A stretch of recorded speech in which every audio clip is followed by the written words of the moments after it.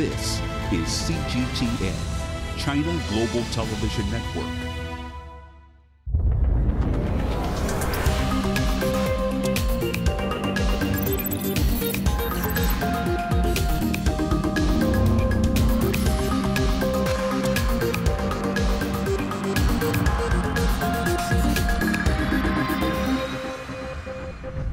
Hello and welcome to this Razor COVID 19 special. I'm Shini Somara. Over the last months, we've been looking at every aspect of the COVID 19 pandemic and the virus that causes it, SARS CoV 2.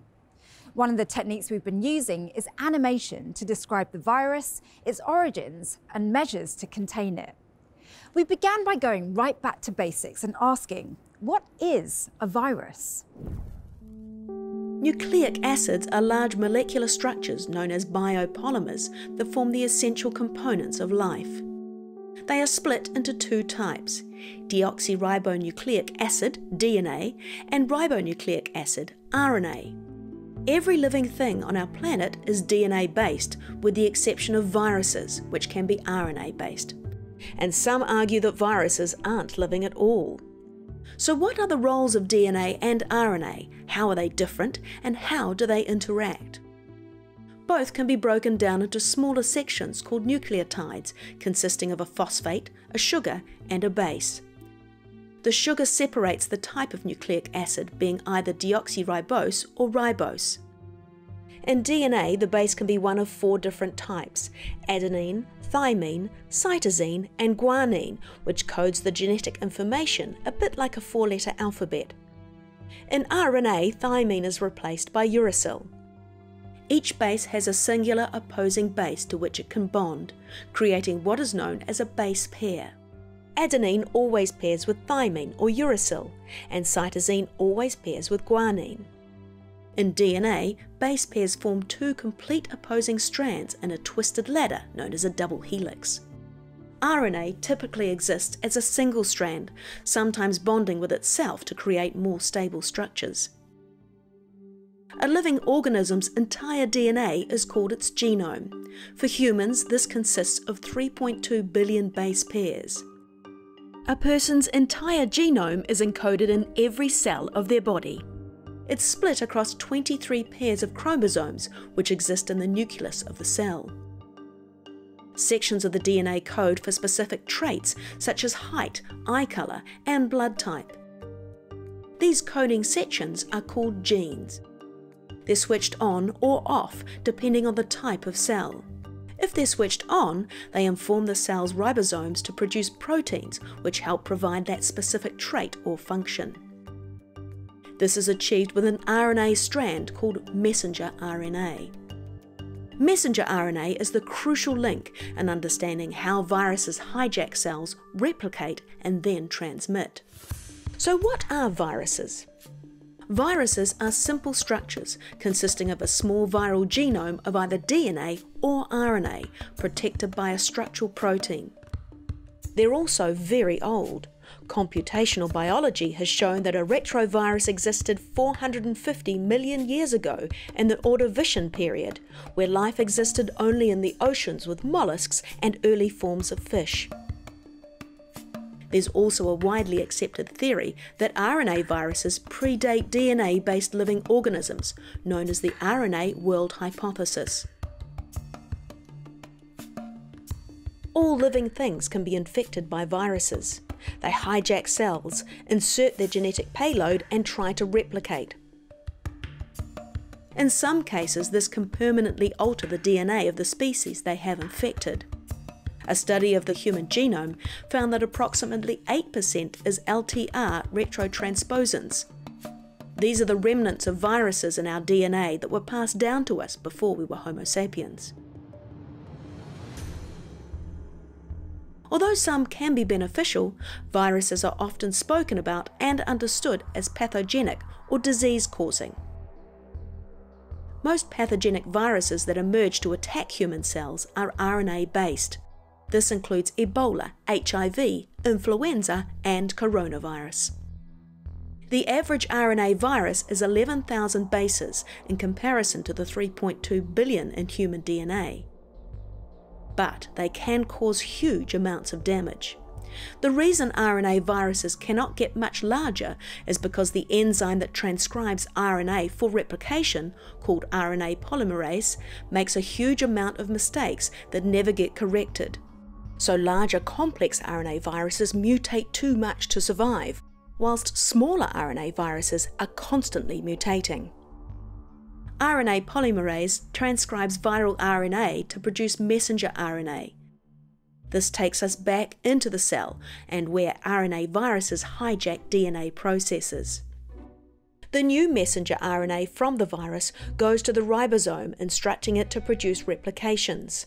This repeats with more ribosomes being hijacked until the cell is full of virus replications, causing it to burst and die, releasing the virus to infect more cells. DNA and RNA have a very close symbiotic relationship, which can be incredibly deadly in a very specific set of circumstances. As with life, what is fascinating is how immensely unlikely those circumstances are. That an RNA virus, which has no intentions or motive, can mutate to just the right genetic formula to enter a human host, alter its DNA, replicate, and then transmit to infect another human host. And for that to happen at just the right moment. But it's a case of probability. The chances of this happening and a new virus emerging is increased as humans continue to push back the natural world, populating every corner of the Earth and moving more freely with air travel. They are both increasing their exposure to new viruses from wild animals and the risk of transmission between other humans. Without proper planning and containment strategies, including buffer zones between wild and domestic animals, the chances of a new virus emerging and taking hold in human populations, potentially causing the next deadly pandemic, is a case of when, not if. One of the main questions of the pandemic has been where does this new virus come from? Phylogenetic analysis is a way of understanding the evolutionary history of an organism. Since the beginning of the pandemic, researchers all over the world have been using it to trace the origins of the virus. There's been a lot of speculation about the origins of the novel virus SARS CoV 2, first detected in Wuhan, China in December 2019. It's believed that SARS CoV 2 is a zoonotic virus, that is, a virus that can jump from animals to humans. It's one of seven known coronaviruses that infect humans, all of which were originally zoonotic viruses. Four of them cause the common cold, with two believed to have come from rodents and two from bats. The other three, which all emerged in the 21st century, have been significantly more deadly, causing serious disease. They too have also been linked to coronaviruses in bats. We know this by studying the evolution of the virus genome using a technique called phylogenetic analysis. To start the analysis, a virus has to be collected and its genome sequenced to know its exact composition. For coronaviruses, this involves extracting the single RNA strand which contains all of the virus's genetic information. This can be broken down into individual units called nucleotides, which consist of one of four bases adenine, uracil, cytosine, and guanine. These can be read like a four letter alphabet to create a long sequence that is unique to the virus. For coronaviruses, the sequence is approximately 30,000 base pairs long. Using computer analysis, the genome can be placed on a phylogenetic tree, which branches out to distinguish between the differences in the genetic code caused by mutations. Like a family tree, we begin to get a sense of the shared history a virus has with others. The more similar their genetic code, the more closely they are related, and the closer the samples are on the tree. This is a phylogenetic tree of coronavirus genomes, spread across two subfamilies called alpha and beta coronaviruses. Here are the four human cold causing coronaviruses NL63, 229E, OC43 and HKU1. Below HKU1 is MERS-CoV, which emerged in 2012. Branch next to it is a bat coronavirus, which is genetically very similar and thought to be the ancestor. However, there is an almost identical coronavirus sequence taken from a camel with 99.8% similarity. This suggests the virus started in a bat, mutated to enter a camel from where it could then jump to humans. Similarly, we can see the first SARS CoV, which emerged in 2002. Below it is another bat coronavirus, but again, an almost identical copy can be seen in a civet with 99.8% similarity. Our understanding is that, like the camel, the civet acted as an intermediary for the virus. At the bottom, closest to SARS CoV, is the first viral genome sequence of SARS CoV 2 taken from a patient in Wuhan. Branch next to it is another bat coronavirus taken from a cave in Yunnan, China, which shares 96% of its genomic identity with SARS CoV 2. Curiously, we see a pangolin coronavirus within the same branch network with 91% shared identity. Although more divergent than the bat genomic sample, its similarities in the viral spike protein is of most interest for scientists. The spike protein is the crown like structure on the surface of the coronavirus, which contains what's known as the receptor binding domain that allows the virus to attach to the host cell. It's highly specific, meaning that it has to accurately match the host cell receptor for the virus to take hold.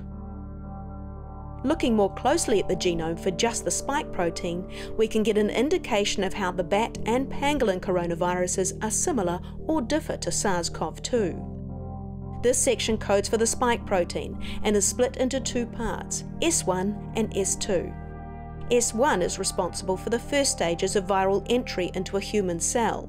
This section of nucleotides codes for the receptor binding domain, Despite sharing 96% of its genomic identity with SARS CoV 2, this is where the similar bat coronavirus differs, suggesting that it didn't jump directly from the known bat coronavirus to humans. However, curiously, this is where the pangolin genome matches, but genetic differences along the rest of the pangolin spike protein indicates that it cannot be the immediate precursor to SARS-CoV-2 either. There is another mystery to the spike structure of SARS-CoV-2. Further down the spike genome between S1 and S2 subunits is a small piece of code called a cleavage site. This helps the virus enter the cell and utilizes the enzyme furin, which is found in human cells and is abundant in respiratory tracts.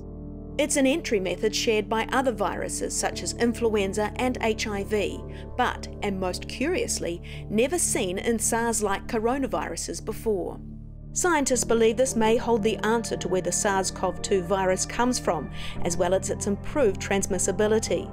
If a SARS like coronavirus with a furin site is found in a bat or pangolin or other animal, it is likely it will be the ancestor or intermediate host. The other possible explanation for this unusual furin site is viral recombination, where two viruses infect a cell at the same time, mixing their genomes to produce a new virus with mutations taken from aspects of both parent viruses. This is known to happen frequently in viruses such as HIV and the coronavirus family, where alpha coronaviruses do have furin sites in the spike protein. Whether this happened in a bat, a civet, or another animal entirely requires further testing and genomic sampling. There are over 1,000 species of bat, accounting for almost 20% of all mammal species. They are known to be a host of multiple coronaviruses, which have high genetic diversity, with some also known to be able to directly infect humans. For these reasons, scientists still suspect the likeliest ancestor of SARS CoV 2 came from bats.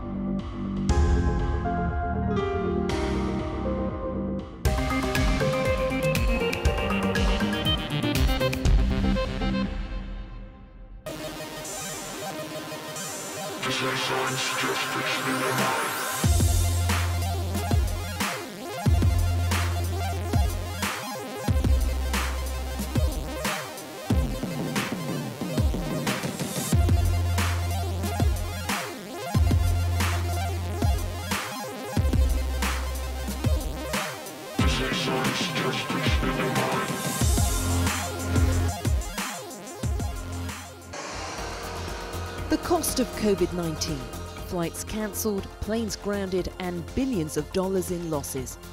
But is there a path to recovery? Come with us on a journey as we explore the future of flying. Aviation, a new trail, Monday the 22nd to Friday the 26th of June on Global Business Europe. Don't forget you can sign up to our daily newsletter. We bring you all the top business headlines straight to your inbox. So sign up for free at this address. CGTN. See the difference.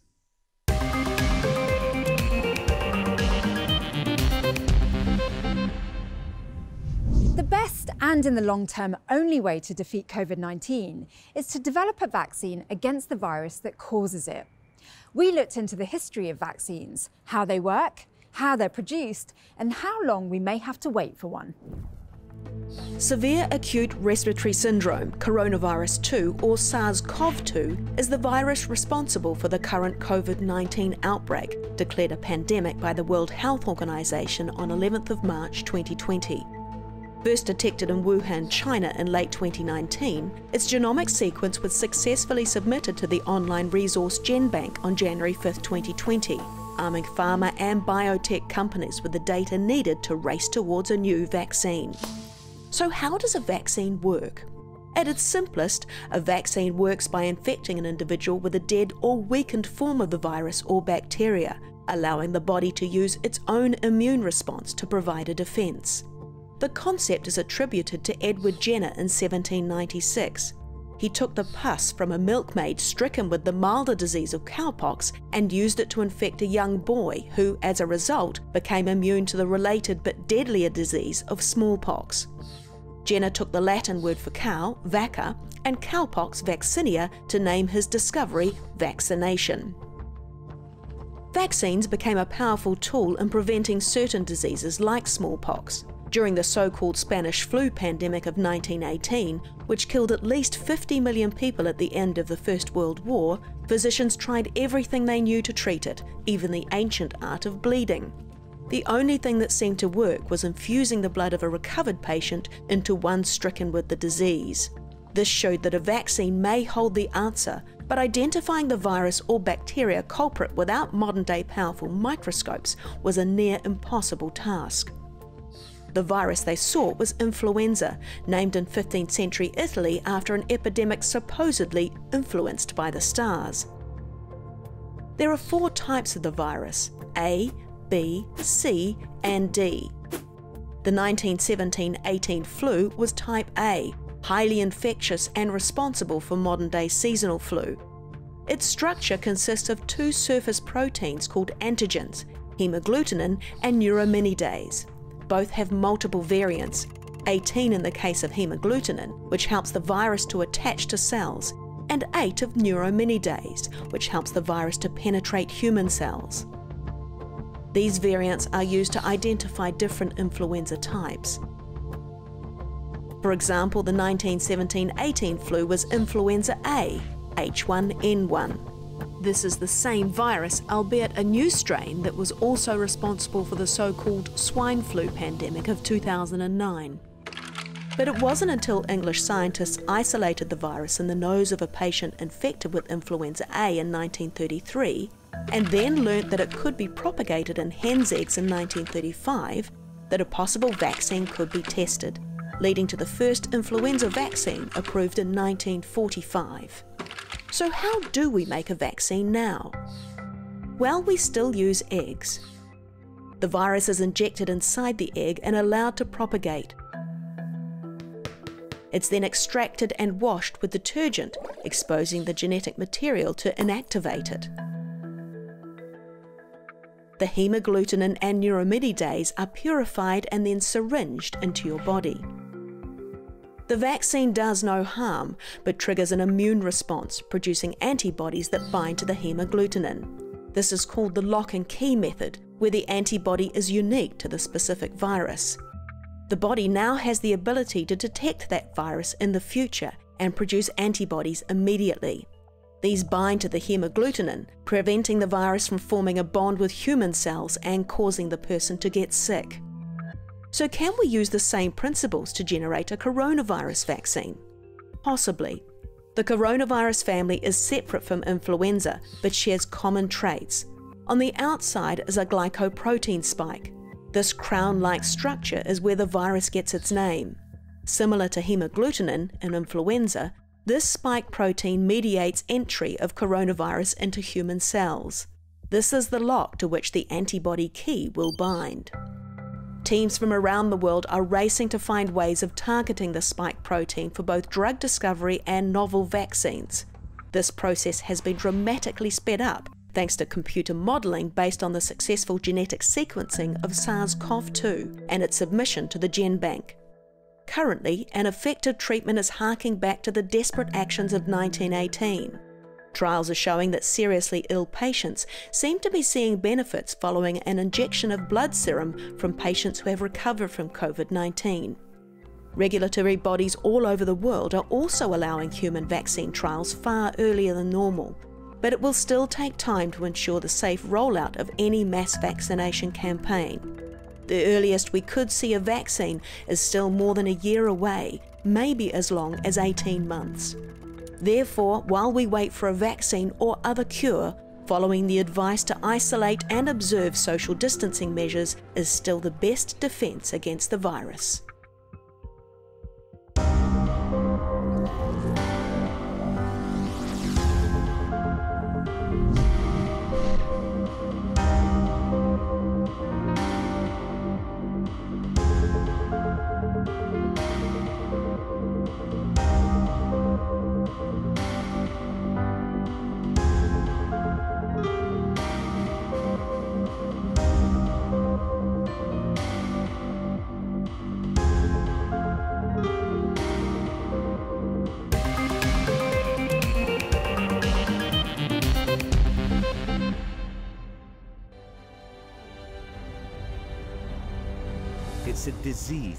Could attack anybody. Life under lockdown. And I'm Rahul Pathak It comes Madrid. as a I- shock to all of us. So I'm in home isolation. I'm Isabel Ewing in Budapest. We have a simple message for all countries test, test, test. After schools shut their gates from Friday. We Friday, are accelerating research, I said very clearly there's more to do. develop a vaccine. You were the eldest person to have survived this nasty virus. Thank you so much for all you people.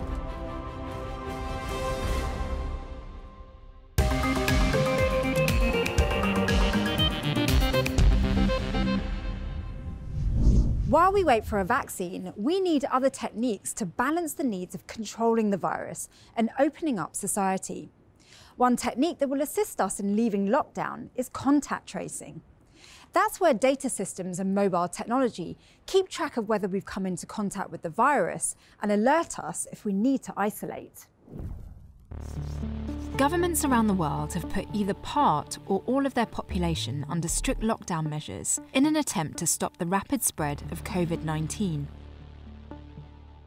The goal is to reduce the number of daily cases to ensure it remains below the coping capacity of healthcare systems. This has been referred to as flattening the curve. But the concern is that if lockdown measures are eased, then a second peak and even later peaks could cripple healthcare systems into the near future. One strategy to maintain a reduction in daily cases without using mass lockdown measures is known as contact tracing. This involves identifying, tracking, and isolating individual cases of COVID 19 to suppress it from spreading throughout a population.